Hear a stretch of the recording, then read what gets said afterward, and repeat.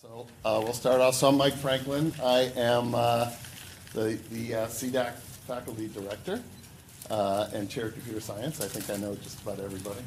Um, and so uh, welcome to uh, the first talk of the CDAC, of any CDAC speaker series. And it's something we'll be doing this, this season, and we're going to have another one in the fall and so on. So, so glad to see you all here.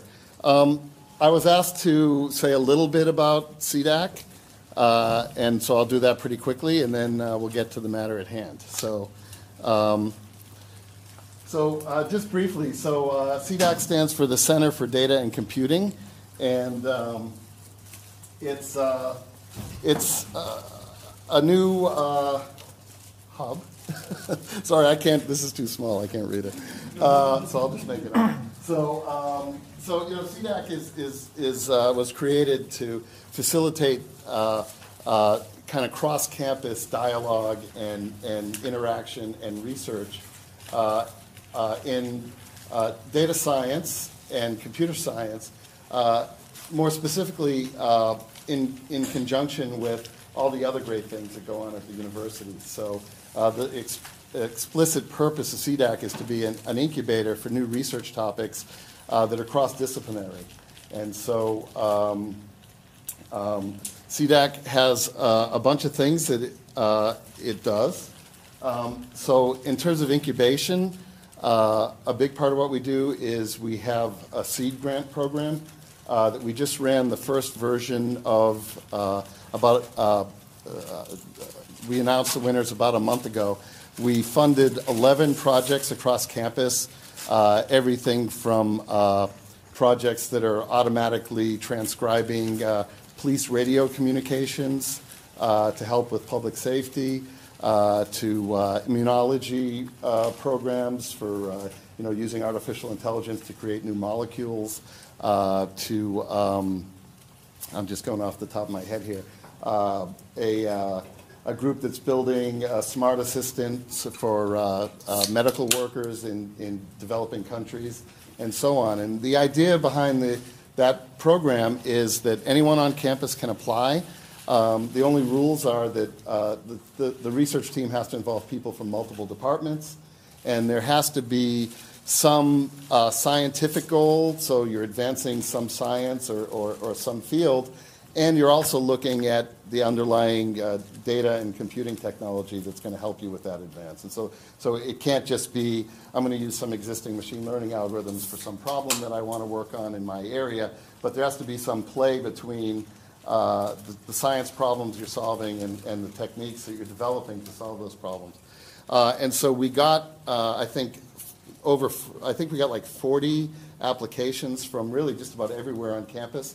The only unit that didn't apply was the Divinity School, and we're working on them so that they apply for the next ones.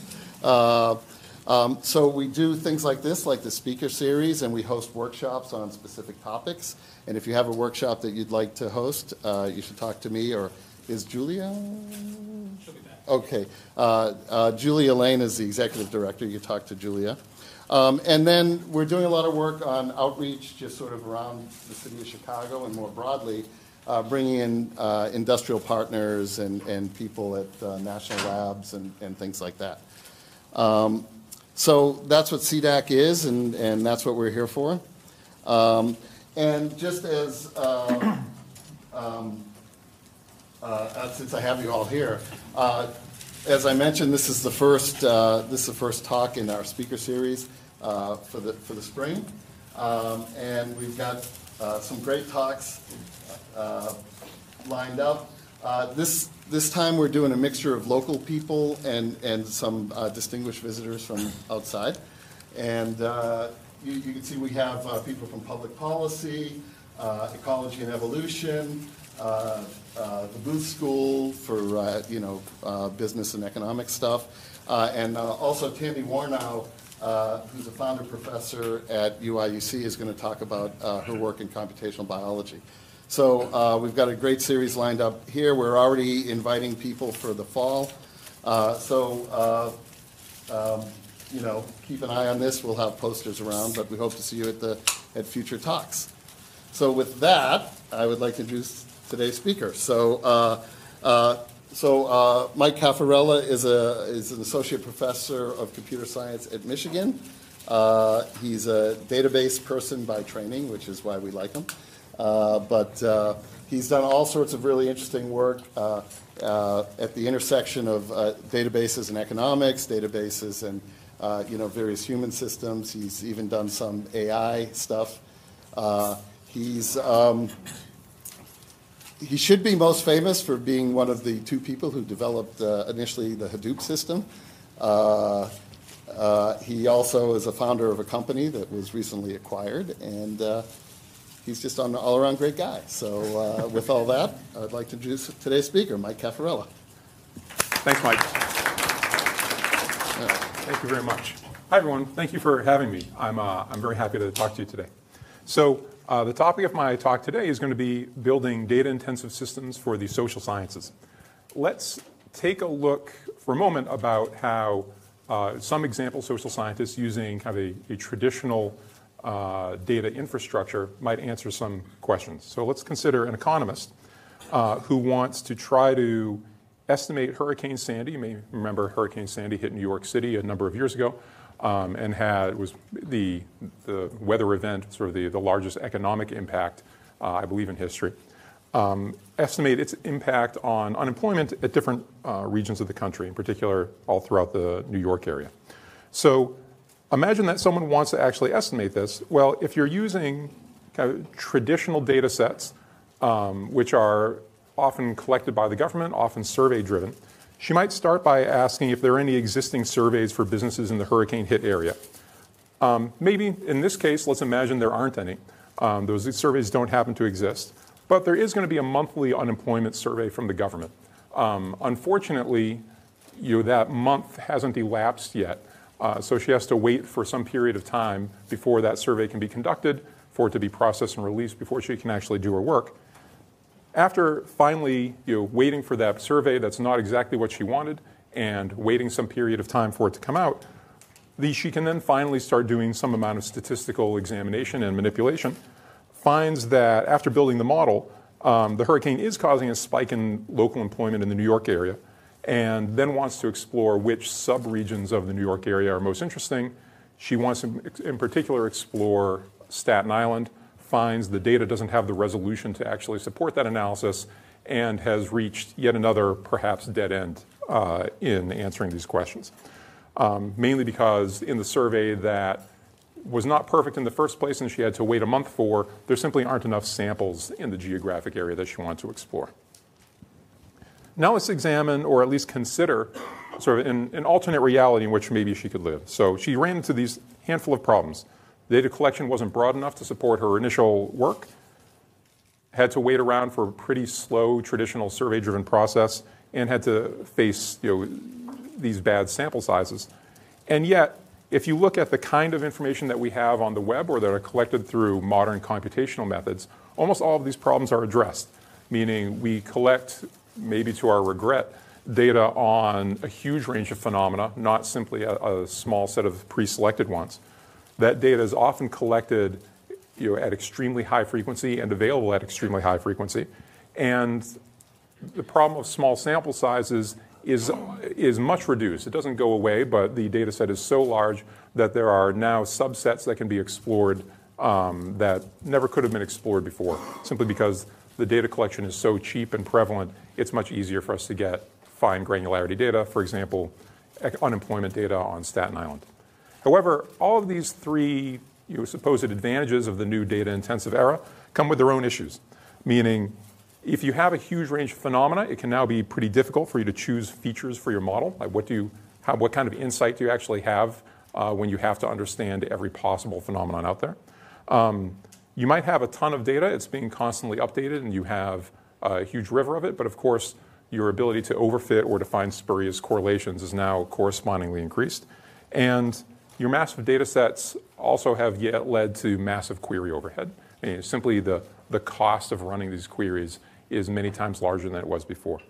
And so even though the sort of big data or data intensive era of social science uh, analysis has a lot of promise, it's hardly something that we can exploit out of the box. So, one of the kind of meta points of this talk is going to be that as exciting as the data intensive social sciences are, um, and they offer huge uh, opportunities in many ways, contributing to them meaningfully really, in my view, means not only doing the social science analysis, but doing computer science at the same time. It's very unusual that we can simply grab a brand new, one of these brand new, very different data sets and have it work properly using the traditional tools that social scientists have used to date. Um, I'll say as a general matter, you know, uh, I'll be talking about data management and its application to social science today, but this is a, a small, or you know, just one element of what my group uh, at Michigan does. Um, includes certainly social data-intensive social sciences, and I'll be talking today about not only an application of nowcasting data to economics, but data-centric tools that we've built for fighting human trafficking. We also have ongoing work uh, more generally on examining the entire data production pipeline that goes into modern price indexes. Price indexes are kind of time varying uh, data sets about price histories that are a crucial ingredient in figuring out cost of living adjustments and in turn figuring out things like GDP growth. Uh, in addition, in a more traditional kind of computer science context, uh, my group does a lot of work in information extraction and data integration, as well as more traditional data systems infrastructure. But let's cut to the real chase today, which is social science. In particular, I'm going to start with trying to use apply social media to a host of different economic questions. Okay. Now, you may remember the Google Flu Trends project from a few years ago. Uh, this was an effort to use what people were saying on Google to try to predict you know, what the, the flu would look like that season. So if people said, I have a cold or I'm feeling sickly, then maybe that was evidence that the flu would be worse that year. Uh, this was this general family of work, which was used not just for flu prediction, but things like mortgage refinancings, uh, a whole host of social phenomena. Um, it was called nowcasting. You don't hear about it so much anymore. Um, it had a ton of promise, which is answering questions that are burdensome for us to collect data on with extremely fast turnaround times. It seems like it would be ready made for widespread application in the social sciences, but outside of a handful of, of papers, uh, you never really heard about it much anymore. So it's worth investigating, like, why was that? The promise seems so big, and yet the payoff seems not to have materialized substantially. Well, one reason is that the results were often brittle. You would often see these predictive models, like what's next year's flu going to look like, uh, fail in unexpected ways, like the accuracy would suddenly drop. Uh, and also, every additional topic, whether it's flu or mortgage refinancings and so on, would require a pretty substantial effort from data scientists and computer scientists. I mean, it was not a tool that a lone practitioner could download and perform analysis with, but rather was a major academic effort. So, a few years ago, some colleagues, uh, both in computer science as well as economists uh, at Michigan, Matthew Shapiro and Maggie Levenstein, we began a multi year project to try to make nowcasting safe for economics, meaning if you were a good but not computationally trained economist, um, say either working in academia or maybe working for the federal statistical community, could you somehow make now a nowcasting product that would help them with their lives? And I, I should say, you know, the uh, I'll talk a lot in this portion of the talk about the federal statistical community, which is to say the set of economists who collect and analyze data for making economic policy making decisions. Um, it's not often talked about, but you know, that community, which comprises the Census Bureau, Department of the Treasury, the Fed, and so on, um, they spend an awful lot of money every year collecting quite a lot of statistics about the economy, something under a billion dollars. And then they spend another, say, 100, 150 million dollars analyzing that data, all to drive a multi trillion dollar economy. So, as data science outfits go, they're pretty good, uh, pretty important. And if we can identify problems in their workflow that computational approaches can help with, it should yield really big dividends for society overall. Anyway, this project uh, is powered substantially by a sample of the Twitter stream. We have about 10% of the tweets going from 2011 to 2016. Uh, that amounts to about 50 billion tweets and a somewhat smaller sample size since 2016. Our first target for this work, which I'll begin in the economics domain and then move to computer science, is something called initial unemployment insurance claims. This is related to, but not identical to, the unemployment rate that you hear about every month. This number is an administrative number. It's not generated by statistical manipulation or analysis. Rather, it's simply how many people showed up that month, or that rather that week, to make a first-time claim on their unemployment insurance. Um, if we, that is simply a side effect of the way that states operate their unemployment insurance programs. So it has the advantage of coming out weekly instead of monthly, and also the advantage that there are not other hidden inputs into the data. So, for example, there's no adjustment for population, it's simply a raw count that comes out every week. So, if we could predict this, then it would be a good test case for some of these so social media driven approaches. Okay? All right, so how can we kind of conceptualize this problem? Well, imagine I have a blue cloud that I'll call social media. That is just to say a huge amount of text messages or posts, whatever you want to call them, that in this case were generated by Twitter, but there's nothing Twitter specific about this. And then I'm going to have some transformation function in which I take all of those Twitter messages and I yield a set of topics. In our case, I'm going to just enumerate all the sequences of four or fewer words in the data set. Okay, so I need a job, that's one sequence of four fewer words, and I can say, on a certain, by examining that database of, of Twitter messages, on a certain date, I saw that phrase 491 times. On a different date, I saw the phrase Justin Bieber, you know, a correspondingly larger number of times. Okay? And most, many or most of these strings are going to be nonsense, right? There will also be some topics that are of interest that will not be captured by this because we're limiting ourselves at four or fewer words. But as a crude first step, this will capture a lot of you know, topics of interest for us. Okay? If we had this, if we had this enumeration of many tens of millions of topics, and for each of those topics, a daily count, which is to say a date along with the frequency of observation, how many unique messages contain that, then for each topic, we can construct a time varying signal. That is, on the left hand side, starting at the beginning of our Twitter sample in 2011, at the right hand side, going to the current day. And every data point there says on a particular day how often was unemployment or Justin Bieber or I love you observed in the data set. Okay. So after this processing, we take that large set of text messages and we are basically given you several hundred million of these time varying signals, each with a string annotation describing what it's about. How can you turn that into a prediction uh, mechanism? Well, this is a, a, pipeline that's purely developed on the economic side. This is not computational yet. We'll select a subset of those strings on some topic of interest, say job loss. So I lost a job, I got fired, um, I got a pink slip. That would actually be a phrase that would not be accepted in the four or fewer phrase, but you, you get the idea. After we take a number of those, we'll set it through a, a PCA process to identify you know, the primary factors that were identified in all those time signals. Each of those factors we'll use as an input to a regression task in which the training set is the official government data. Okay, so we're building a predictive model in which we assume past government data is available to us. And that will give us a, a prediction based on recent social media messages of what next week's number is going to be. Okay, so every week we're going to run it. We're going to tell you what next week's unemployment insurance number is going to be.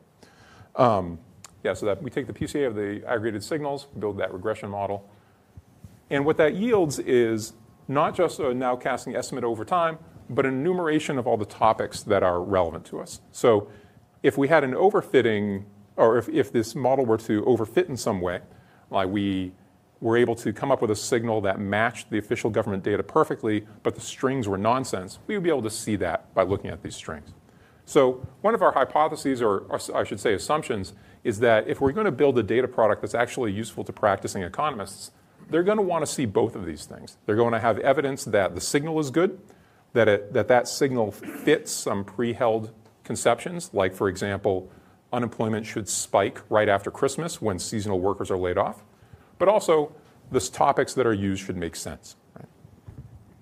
So going back and forth from our uh, economist colleagues for a long time, we're able to produce sort of a, a set of a family of different signals, you know, whether you're axed or canned or downsized and so on. We can say how often we see that. Oh, excuse me.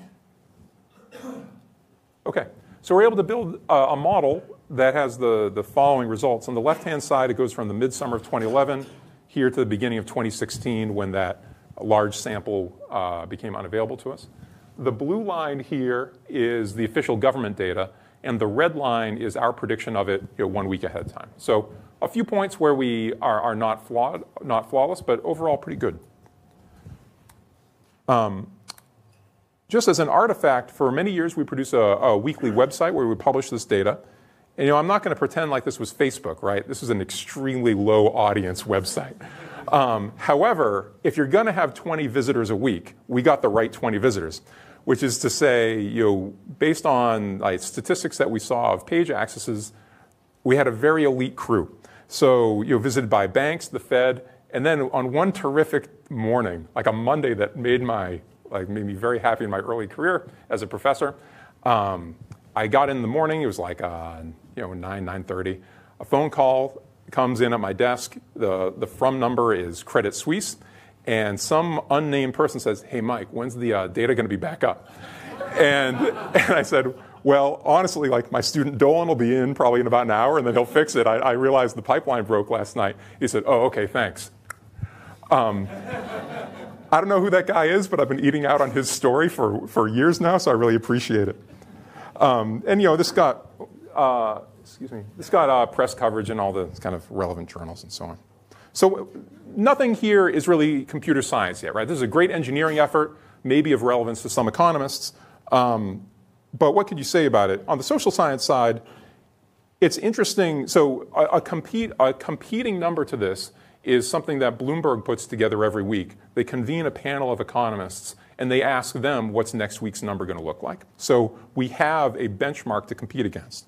Um, our error is only slightly worse than those economists. And if you look at the surprise of those economists, meaning what they predicted and the true number, if all that our model is doing is capturing those economists' sentiments, like for example, what if they all had Twitter accounts and they posted their, their predictions online and we were reading them in order to make our prediction? If we had no additional information gain beyond those economists, then their errors should appear random to us. We can predict about 15% of their errors. Okay? So, which is to say, the best model combines both the human insight and our insight, but we're actually tapping into something real. Um, now, it turns out they're not all, this data set is not actually useful to you very much. Like uh, the unemployment rate as a general matter does not change so quickly that you need to predict it a few days ahead of the federal government. Um, now, as a proof of concept, it's very useful because it might tell you what's good and bad about uh, this kind of social media process, but it's not actually super useful on its own. What it is useful for is analyzing kind of the internal workings of the economy a little bit uh, more strongly, which is to say, by looking at which signals spike and fall, you can tell the government shutdown in 2013 had a seriously negative impact on the economy, but it recovered extremely rapidly after that shutdown ended. Um, if you look at why unemployment spiked in late 2012, you could have two competing hypotheses. It was either the hurricane or it was all the Mitt Romney workers getting laid off. Um, I, I, I, said that in a tone of voice that suggests it's, it's, a little bit glib, but actually there's no easy way of telling that um, unless you look at this data and you can actually figure out, you know, it's localized in a certain way. It is the hurricane and not the election that caused it. Um, and moreover, the unemployment spike from Sandy was actually very long lasting, unlike um, the shutdown. Okay. Um, one interesting thing here also is that if you, the accuracy of the model is in some ways less useful than the internals of it, which is if you look at those changing factor weights over time, meaning like what's getting more important? Is it job loss or is it job discovery? Well, one thing I didn't go over here is that our model worked really well until 2014 when, like many other nowcasting models, our accuracy fell off substantially.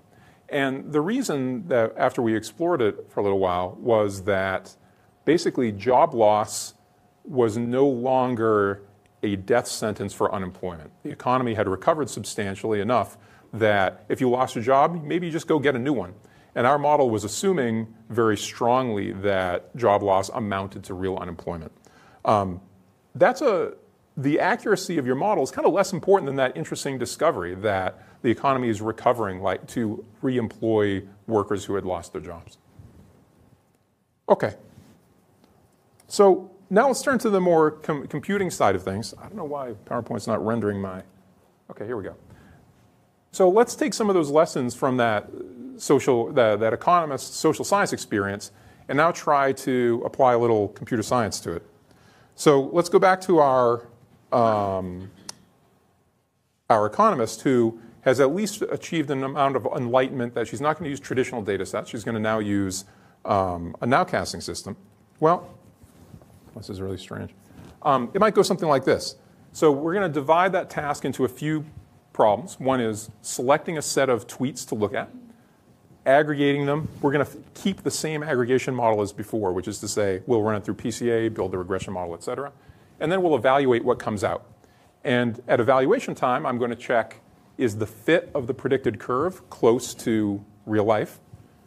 Does it have certain features like spikes at the end of the year after seasonal employment that I'm willing to accept? And are the topics you know, close enough to my to my beliefs that I'll accept it. Now, it may sound like I'm catering too much to the analyst in this case. In a computer science point of view, we are accustomed to, hey, if the machine learning model gets good results, let's go with it. That's, that's extremely not the vibe in, econom- in economics, in which inspection of the model internals is really key to your professional success as well as making decisions in life. Um, for a long time, I was very skeptical of that, but it occurred to me over time, you, if you're in a world where you're called upon to make extremely infrequent policy interventions and you have almost no data, then a lot of your life should be looking at those models inter- model internals. You have to have high priors or strong priors in order to like be productive in that world. We are in some ways catering to that kind of cultural assumption of economics that I'm going to want to inspect the output, not simply run it through a statistical test in order to have trustworthiness about it. Okay, so after running this, she might ask, do these make any sense? Probably not. Um, is the ground truth correlation good enough? Again, maybe not. Um, if the topics aren't relevant, she'll now add a brand new string to the, the, the set of tweets that she's chosen. We'll rerun it. This process will go on for a very long time, uh, where we'll propose some kind of candidate string, run it through the pipeline, see if it's successful, and usually it isn't. Now, it may seem really easy, hey, why don't I just look for the string fired? Well, you know, Russia fired missiles on a competing country, and all of a sudden your predicting, prediction algorithm stopped working. Um, my economist friends love the idea of searching for unemployment benefits um, because people search for benefits when they lose their job. Then the movie Friends with Benefits comes out, and the model goes crazy for a weekend. Uh, the, the point is, the number of failure modes that you run into in trying to choose those subset of tweets, they're enormous and hard to predict. It was really burdensome uh, early on to build this model by hand. So we'd like to avoid doing that. So if we think about the ideal nowcasting workflow, what we'll call declarative nowcasting, we want to find these relevant features without much iteration. I don't want to be there constantly saying, hey, try, try benefits, try fired, et cetera. The system really should be able to do that for me. And then also, I want interactive time results. So I don't want to be processing you know, the terabytes of data while I sit back and wait for the results. I should be able to get things pretty rapidly. Okay, so I'm going to redefine the task very slightly. In the selection phase, enhanced selection now, there's going to be a new interface which we'll call a two-part or two-handed declarative query, which is I say up front what my priors on accepting the result are. So I will, if uh, as far as signal fit goes, if I have historical data, then I can provide that here, and you know, I'll measure goodness by some kind of correlation with historical data. On the flip side, if I don't have any historical data, but I have strong signal priors, like I want seasonal unemployment to spike at the end of the summer, at the, at the end of um, the Christmas season, then I can just provide limited data in, in the time domain, excuse me, um, like spikes in the time domain to indicate that. Also, I'll indicate the topic that I'm interested in. At the same time, I'm going to have fast processing. So there's some query optimization work here to be done to make sure the data system gets us good results. Now, on the evaluation side, This exists in our artifact and our published work, but I'm not going to talk about it today. We have both user interface tools for you to like poke around and use this tool as if it were a search engine with very fast interactive results, as well as a quality alarm that will tell you you've given me some sets of constraints that seem mutually incompatible, meaning maybe there is no good evidence in the database of all those social media messages that can fit your set of topics with your set of signal domain requirements. Okay. But in the general case, uh, that will work, and hopefully after indicating those up front, the system can answer it. We get through with fast operation and few iterations. So let's see what this looks like. The user model is going to be something like this, where I provide that two-handed query that you see just to the right of our economist. One element here is going to be unemployment-related keywords. Now, these are not strings that I have to fit exactly, just rough topic ideas. Okay, so unemployment or jobs or something like that. In this case, I'm also going to provide historical unemployment, but again, if that is not available, I can provide sort of synthetic data if I were to so choose. I'm going to send those requirements to RaccoonDB. This is named after, of course, the creature that rifles through your trash to find one tiny nugget that's valuable. If you've spent a lot of time on Twitter, then you'll know that feeling. Um, after RaccoonDB is, and RaccoonDB is going to take your query as well as all that top, those topics in order to come up with this query result that I'll show to the user, and hopefully it's going to be accepted the first time around. Okay. Let's focus just on this part, picking the queries out of the topic database. Okay? And for the moment, this is going to be primarily a query optimization task. But let's first say what the definition of correctness is.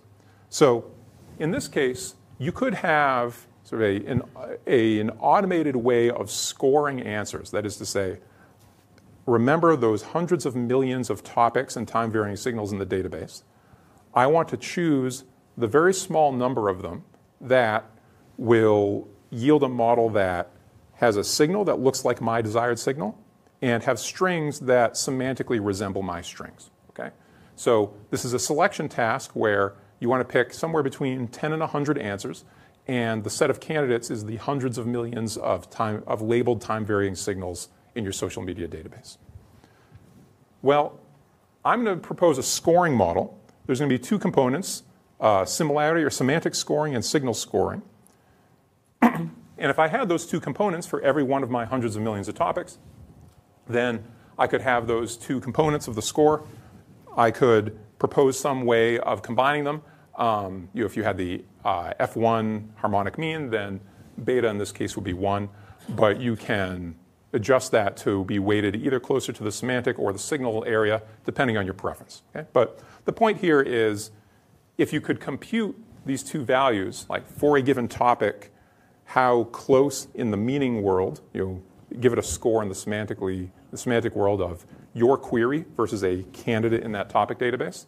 And then in the signal world, you could have some measure of similarity, say Pearson correlation, between your provided data points and the time varying data points in the database. Okay? So this is at least well defined. I then search and I then sort in descending order on that F sub beta score, and I pick the top K. Now you have your answer. You take those, feed it through your model, and now you have a prediction. Okay.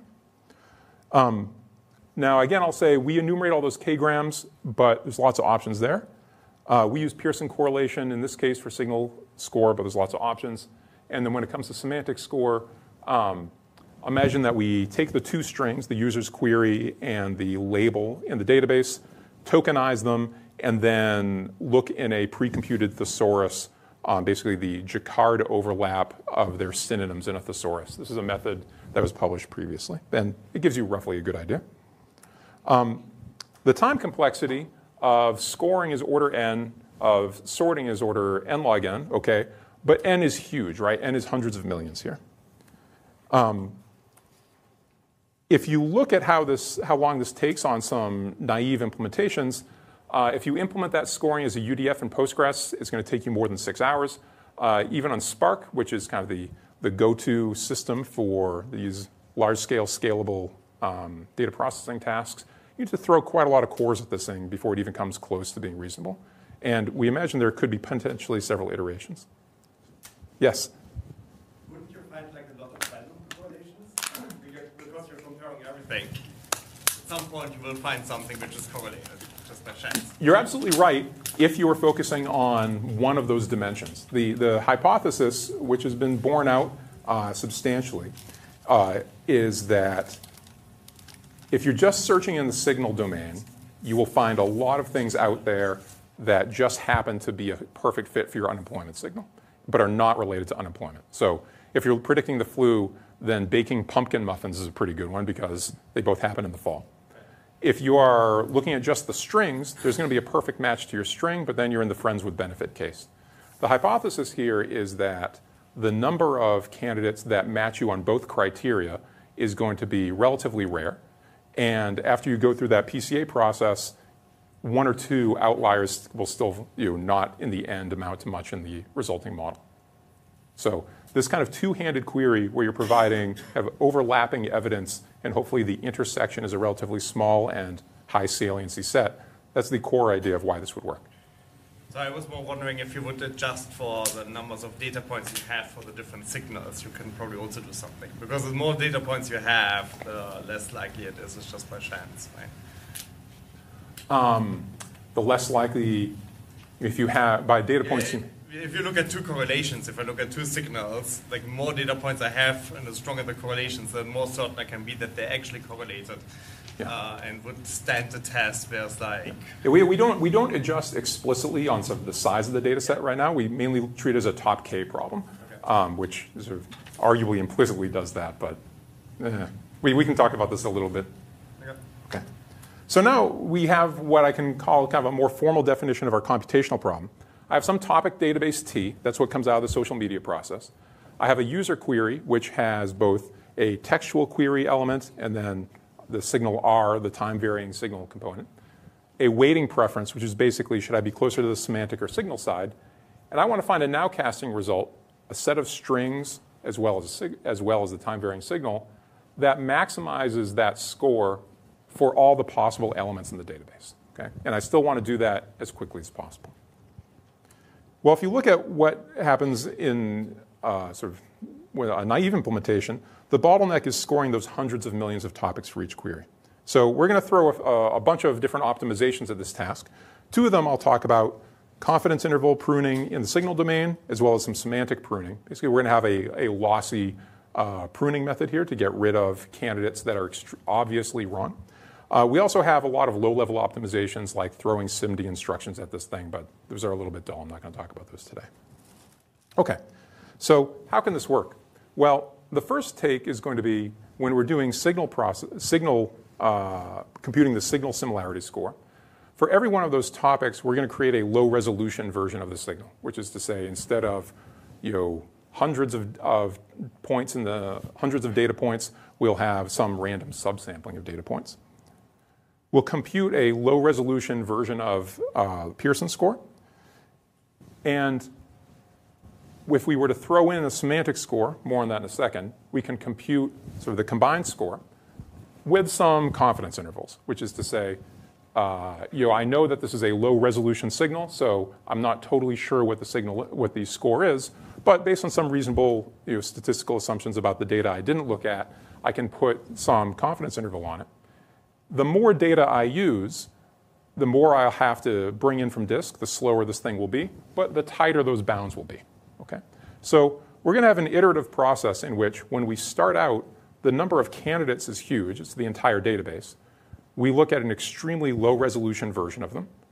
Over time, we're going to eliminate candidates that can't possibly be in the top K as we amp up the resolution. So the number of candidates will shrink over time, but the resolution will grow.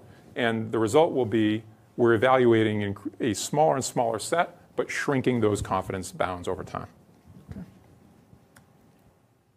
okay.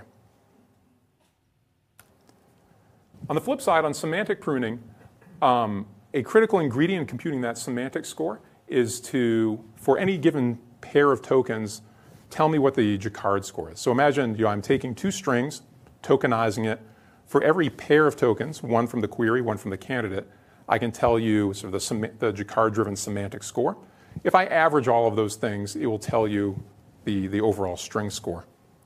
I can build a data structure in which I get not only a query string, but also a threshold, which is to say, I only want to see values that are over a certain threshold. The lower that threshold, the more work there is to do here because the more items are returned. If that threshold is very high, then fewer things come back.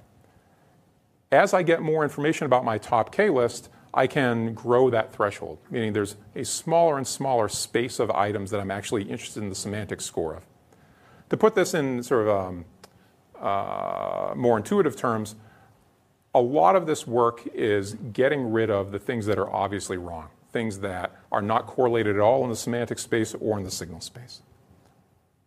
When we integrate these, we have alternate rounds of semantic pruning, scoring, signal pruning, and scoring.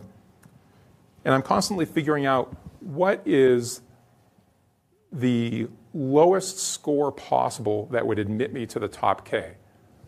That forms the set of thresholds I use for the next round of scoring. Okay.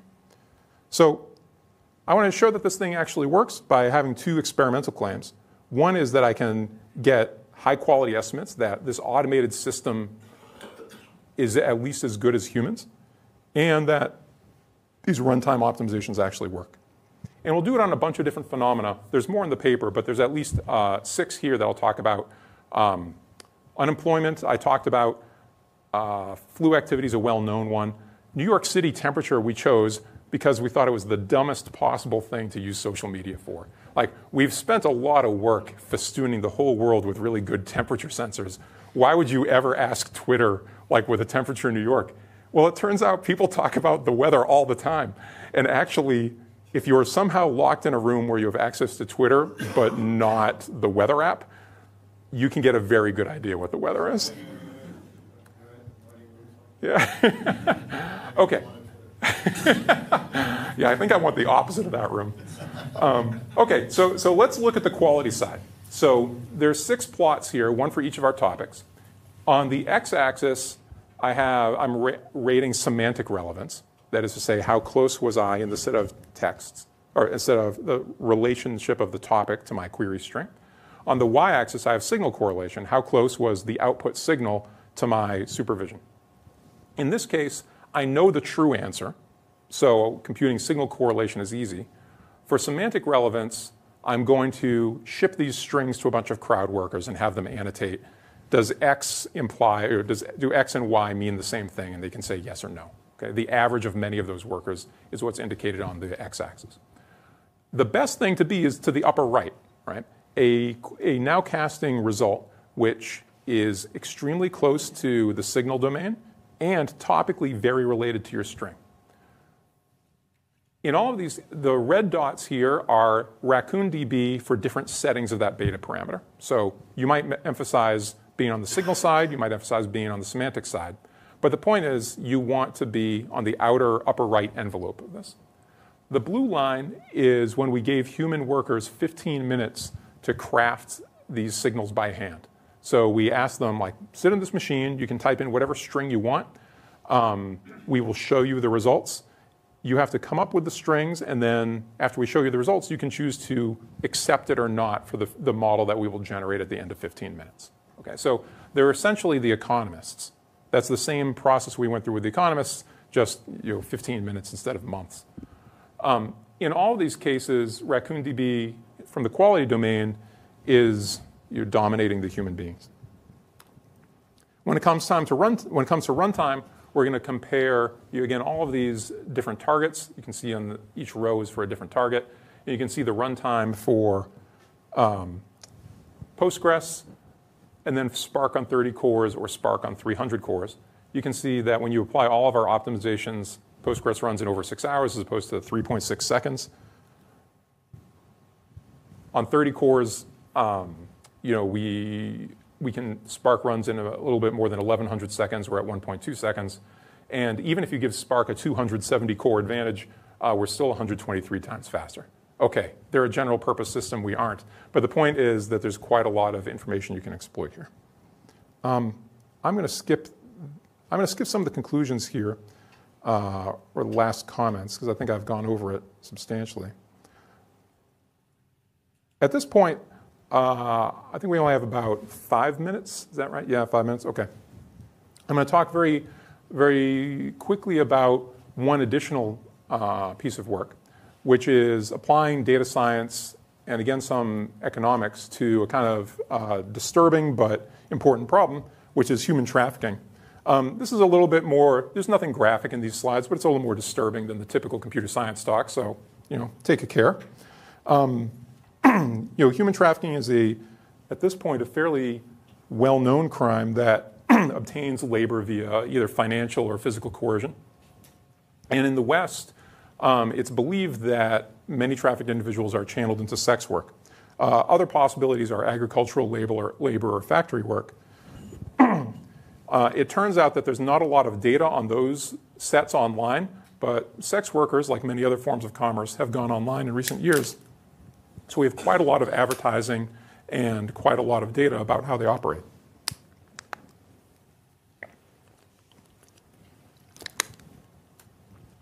The traditional problem in attacking this from a law enforcement perspective has been that there are a very large number of sex workers who are not, in fact, trafficked individuals, that they are more willingly engaging in that work.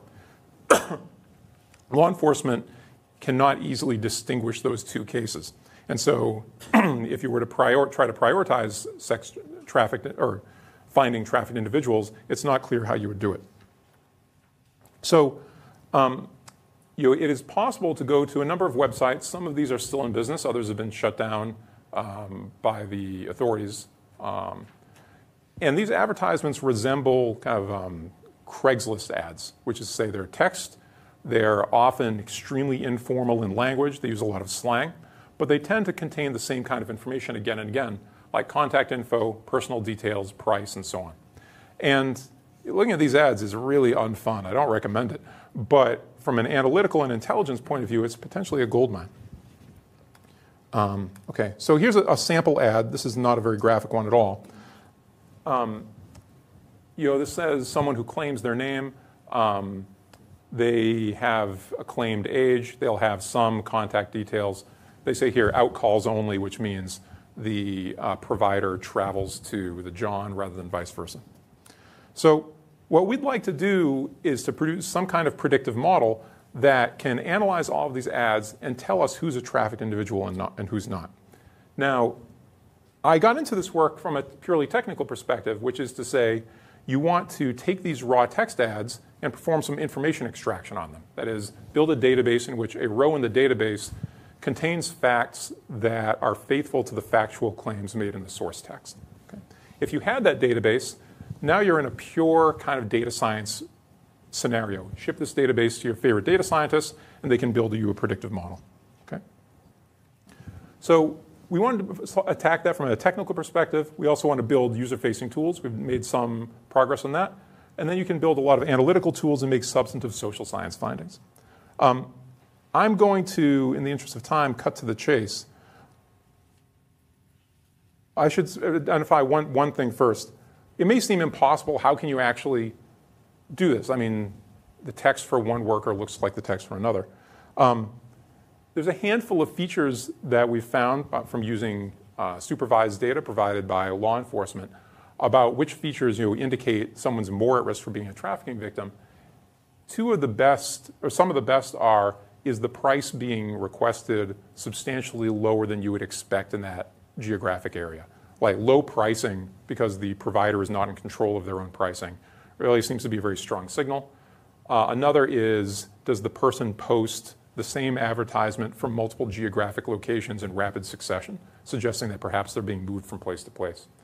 These are things that you know, law enforcement could suggest to you, or maybe your own uh, kind of creative thinking could suggest to you are potential uh, you know, warning signs, but you wouldn't know until you built the model, and, and we, can, we can bear this out. Okay. Um, I'll mention this is possible through an awful lot of collaborators, uh, including my uh, frequent collaborators Chris Ré at Stanford and Greg DeAngelo at Claremont, but a, a cast of many to get this thing done.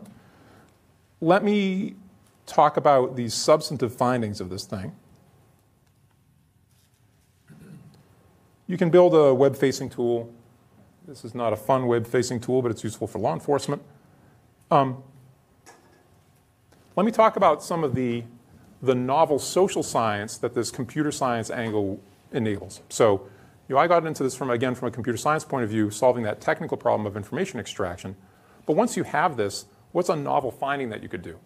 Well, let's imagine that you, know, you build this predictor, and for any advertisement, you now have a machine that can tell you, you know, with some amount of accuracy, is this person trafficked or not? Okay.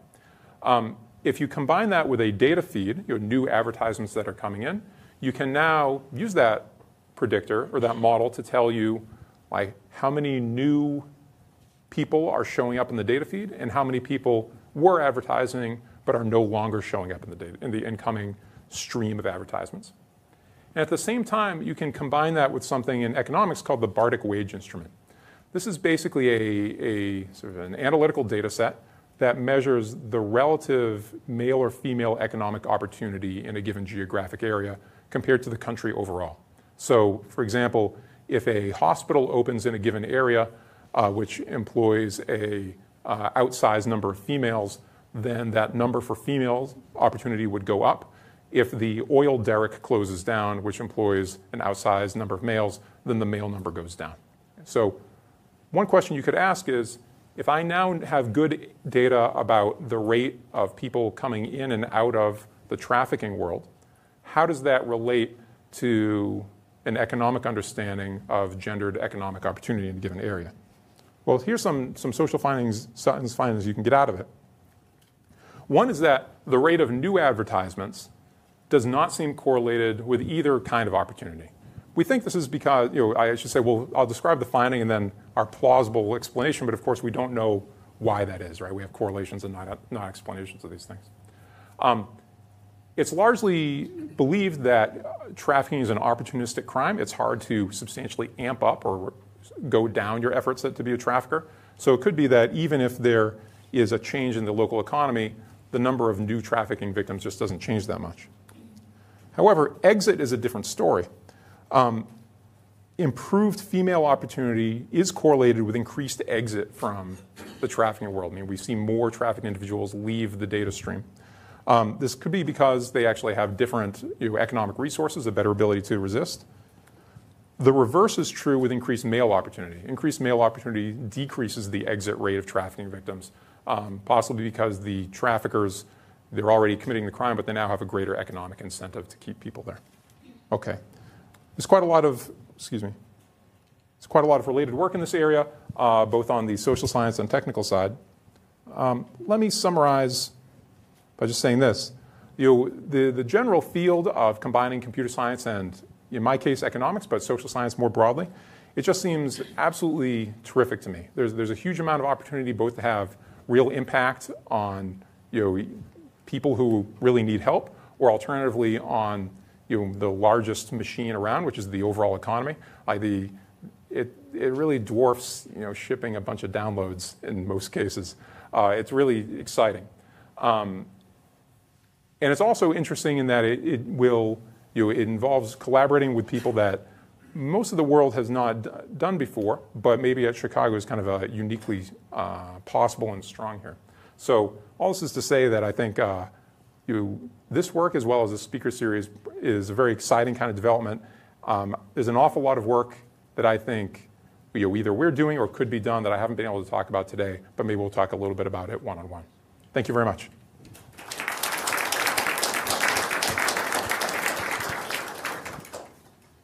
We have time for a few questions, and I will bring you the mic. Thank you. Um, I just had a quick question about the PCA. Do you allow for any pre-processing before you do all the scoring? Just because in terms of topics might not be really the, the items that you include might not be really correlated to each other if you if you don't have any. We do some amount of normalization of the tweets, which is okay. to say we um, you know we transform numbers into a generic num token. Mm-hmm. Um, we tra- we uh, transform URLs into a generic URL token. Mm-hmm. Messages that are, um, oh, and then we, we go to some amount of work to make sure that language and geography are the area of interest that we want to explore.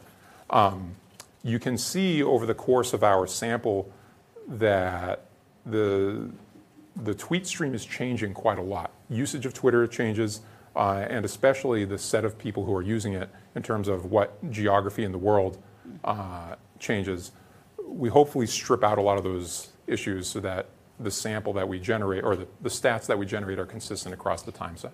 And my follow-up question to that is, with reliability analysis and generalizability from a social science perspective, uh, from anything published in manuscript-wise, are you generalizing it to, to the people in the Twitter um, area, or generalizable to, you know, like the United States, if you're if you're looking at human trafficking and things of that nature?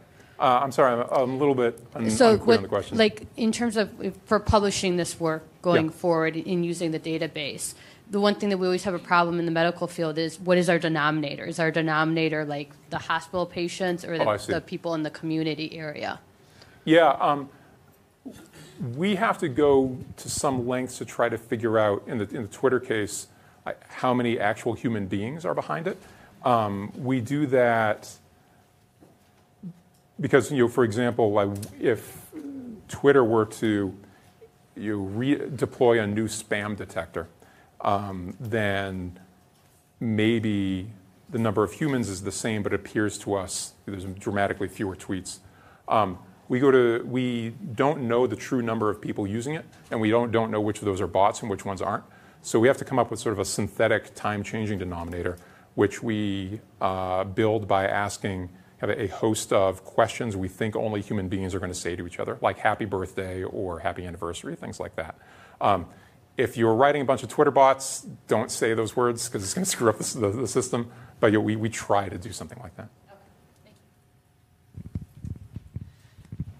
Hi, I, I actually had a question about uh, the Raccoon DB. Y- Yeah. You had uh, shown that beta, right, changes depending, um, and that you can get very good results. But my question is, do you see domain-specific optimal betas, and do you think that there's anything behind that, if, the, if it does exist? And then the, the follow-up would be, do you think that there's a way that this could be used to show linguistic drift? So, for example, it could be that the uh, uh, you know, the patterns and the semantic meaning about weather are quite stable, but they would not be stable for, say, unemployment. It- Have Yeah. you looked into that? Um, to answer the first question, you know, the choice of beta is substantially a kind of user policy question. In some cases, it may be that uh, you have a phenomenon where you don't believe your data set. Uh, you're, you're, know that your data is weak, or like you have reason to suspect it. So for that, you may just decide, um, I'm going to trust the betas that uh, you weigh one side of the equation more than the other. Probably best practice is to always compute the range and then, you know, see which one you, you believe at the end of the day. Um, I'm sorry, remind me the, the second question was, Uh, the second question is that there should, you believe that there should be some stability potentially in the beta that should be used Oh, for, oh. say, a domain-specific thing that doesn't change much, like the weather versus unemployment, where you might see different patterns associated, even though the semantic meaning is the same? Yeah. Um, if we see changing language use, you know, let's say a new way of indicating job loss that we didn't see before, um, if that, you know, the way that we would identify extremely surprising slang, let's say, relies really on that thesaurus-based mechanism. If there's some no- totally novel way of expressing it that's not captured in our thesaurus, then it simply won't appear to us. Uh, it will seem to us as if the signal were highly correlated, at least for a period of time, but that semantically was unrelated and as a result would be scored relatively lowly. And so if you have if you have changing language use, but all of it can be detected, then there's reason to think that we'll find all of it. It will actually be found to have the same factor in that PCA process. So I think we'd be robust to that. If you have entirely novel expressions, and we didn't see that much in unemployment, but if you look at the human trafficking data, the slang is ridiculous and it's novel quite frequently. Um, then it would rely entirely on the quality of our thesaurus. We don't have a complicated statistical mechanism for figuring out synonyms, although those exist in other pieces of research. Time for one more question.